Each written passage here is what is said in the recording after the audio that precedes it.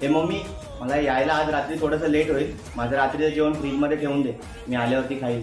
बरं ठीक आहे. हे जाग ताई याचं रात्रीचं जेवण फ्रीजमध्ये ठेवून दे.